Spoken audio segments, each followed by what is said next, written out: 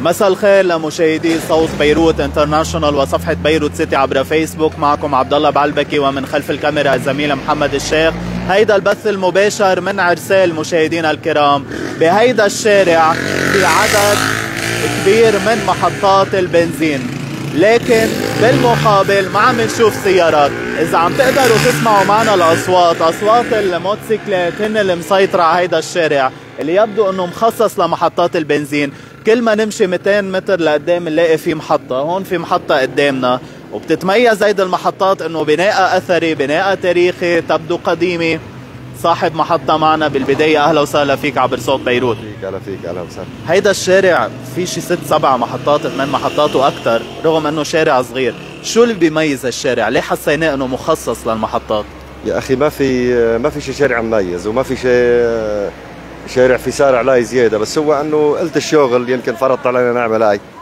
ما في شيء غير هاي. طيب محطتك كيف وضع اليوم بظل هيدا الأزمة الخانقة؟ طبعا تعبانة يعني بربع الشغل تقريبا أو أخف شوي حتى 10% من الشغل يعني نحن قلنا عندك 10 دقائق ومحطتك شغالة بعتقد بتضل ساعات متأخرة بالليل وما في ولا سيارة مارقة صحيح.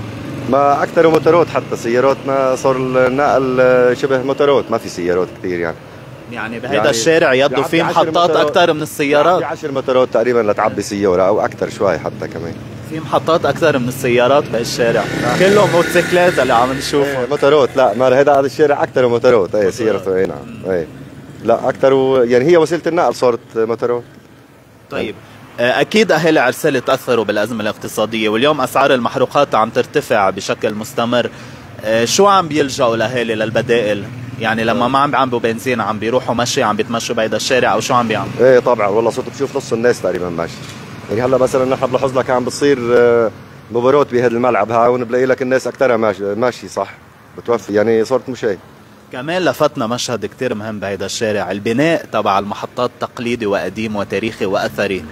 ليه البناء هيك بهيدا الشارع؟ لقينا المحطات؟ يعني حتى المبنى عندك مثل ما رح نشوف هلأ بالبث المباشر لقدام شو سر هيدا الصفة أو هيدي الصفة المشتركة بالهيكلية العامة للمحطات بعرسال؟ هلا بتقديري إنه هي يعني الشغل الخفيف هو فرض علينا. يعني نبقى عم نشتغل فهو الشغل والأزمة الاقتصادية هي اللي فرضت علينا نصير هيك يعني ما قدرنا كفاية. عمرها كبير للمحطة أو لا؟ لا والله هو سنتين عمرها آه ما لي سنتين أنا مبلش والله. وما كملت بسبب الأزمة. بسبب الأزمة. طيب لقدام رح نشوف محطات قديمة كتير. هيدا سر مشترك برأيك إنه كل أهالي عرسالي بيتجهوا إلى بناء هيدي النوعية من المحطات؟ لا ما شرط في محطات حلوة كثير ومش مشغولة على أصولها لا بالعكس بالعكس يمكن ما في غير أنا هاي. بس هيدا. إيه والله. طيب اليوم المازوت 824000 والجو كثير بارد بعرسال نحن جلدنا صراحة. طيب كيف العالم عم تتدفى وهالقد الصفيحة غالية؟ هلا الدفع مستعمل الناس على الحطب. يعني أنا حتى عندي محطة وعم أتدفى على الحطب والله. أنت عندك محطة وعم تدفع. اي والله عم وحتى اللي بيعبي للمازوت للصوبة بيعبي كمان بال بالقنينة أو باللتر وباللتراين ليزيد بتعبي بالقنينة إيه. بشكل يومي يعني. إيه بشكل يومي إيه. هلا المسا بتشوف بصيروا يجوا بالمسا بيعبي للصوبة يوما اللي مركب مازوت. وعدد كبير اللي بيجوا؟ إيه تقريبا إيه عدد كبير إيه. يعني الاكثريه اللي بيعبي مزوط ما بيعبي أكثر من هيك من هالقيمة يعني. بيعبي قنينه لتكفيه بشكل صحيح. يومي. 4 لتر و3 لتر وهيك نعم. نعم. أنا بدي أشكرك وشكرا لك. رح نتابع مشاهدينا نقل هيدا المشهد من عرسال من البقاع. يعني مثل ما ذكرنا يبدو هيدا الشارع مخصص لمحطات البنزين. رح نقرب لقدام لتشوفوا كم محطة ممكن تطلع قدامنا. بنذكر إنه أسعار المحروقات اليوم أصبحت على الشكل الآتي.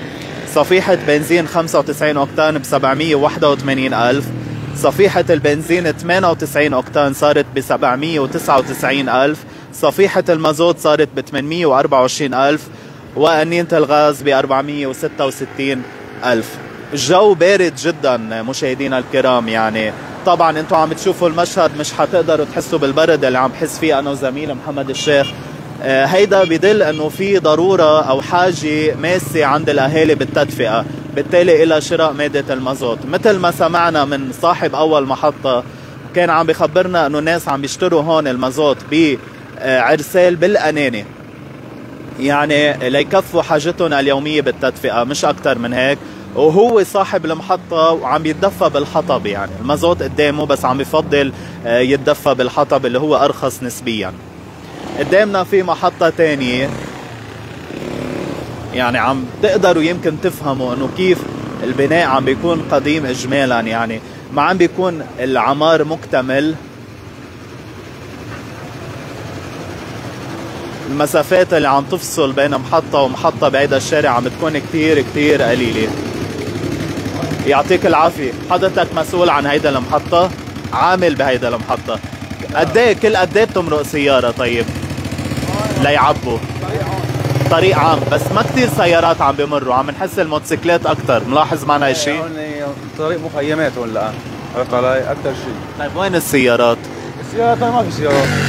لأي ساعة بتبقوا فاتحين تقريبا. الساعة 12 12 بالليل. بيمرق كم سيارة أو ما كتير؟ لا كثير السيارات كثار والمازوت شو وضعه؟ المازوت نار يعني سعر تنك المازوت اليوم تعادل 19 دولار 20 دولار. ما حدا عم يشتري مازوت؟ لا قليل يعني الوضع ماشي الحال ها بيعبي سيارته. الوضع لا خفيف. طيب عندك فكرة قد إيه لها المحطة فاتحة بالمنطقة؟ هاي إلها من 2007 2007 يعني ما يقارب ليه منا كاملة مثل ما عم نلاحظ العمار؟ صار وهي؟ قديم صارت امم 2007 مش كتير قديمة. يعني. آه 2007 مش كتير قديمة. 15 سنة تقريبا. إيه تقريبا ما بقول لك. بس هون إدارة مالية عرفت علي؟ خفيف شوي. شكرا لك. يعطيك ألف عافية. شكرا كثير رح نتابع مشاهدينا نقل المشهد من عرسال هيدا المحطة الثانية بذات الشارع اللي يبدو مخصص لمحطات البنزين.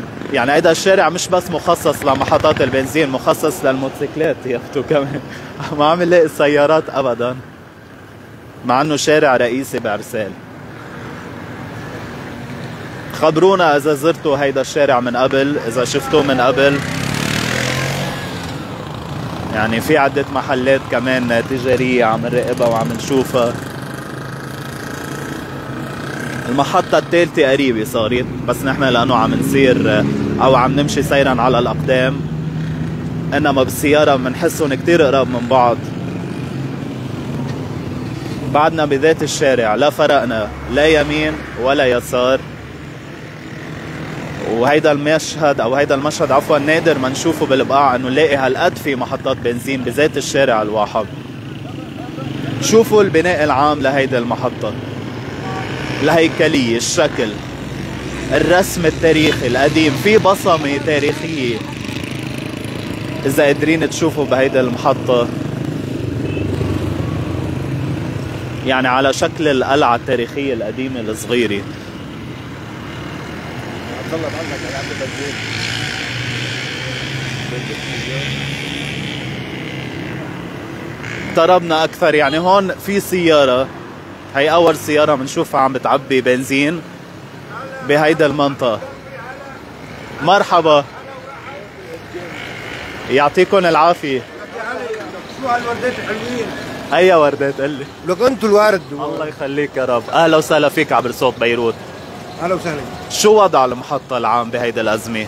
والله وضع يعني عدم شرعة. ما في شغل ما في حركة من أول. شفنا في سيارة.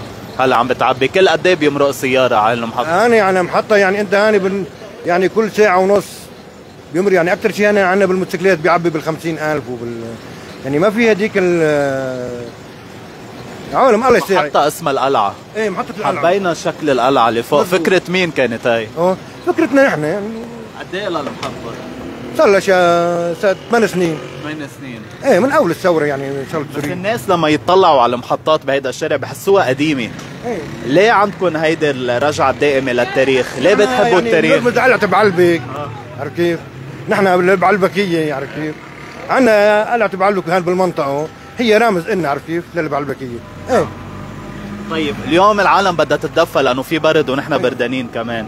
قد إيه عم بيشتروا مازوت أو ما في كتير إقبال على المازوت؟ ما بيقبلوا شيء يعني العالم إذا بدي أقول لك أحكي لك الحقيقة الحقيقة العالم ما عم سرد.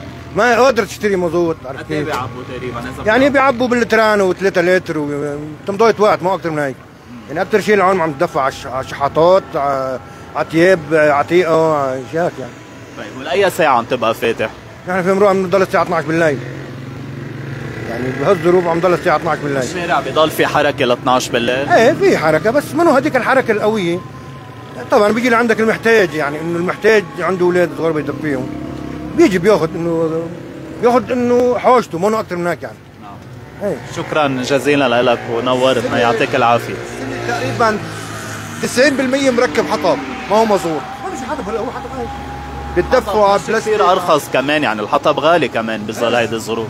بس الحطب بيفرق. يعني السوبيا فيه يحط لها بلاستيك فيه يحط لها شو ما كان بيحط فيها بيدفي اولاده غير المزوط صوت المزوط مزوط ما في يعني. شكرا لكم ويعطيكم ألف عافية. أهلا وسهلا فيكم. يا حبيب القلب شكرا. يعني أهل عرسال معروفين بالضيافة وبالشهامة. عم نشوف أمامنا إذا فينا زميلي نلقط محطة بعد. لقدام قبل الانتهاء من هيدا البث المباشر. اللي منذكر إنه بمنطقة عرسال وبشارع رئيسي وأساسي في محال تجارية عديدة وهيدا الشارع يبدو مخصص لمحطات. إذا عن بعيد بس فينا نشوف إنه بهيدا الشارع بعد لقدام في محطة اثنين ثلاث محطات لقدام. وهيدا المشهد منذكر إنه نقلناه بعرسال شارع مخصص لمحطات البنزين أكثر منه مخصص للسيارات. شكرا آه، للجميع على حسن المتابعة من عرسال من البقاع. كان معكم عبد الله بعلبكي والزميل محمد الشيخ.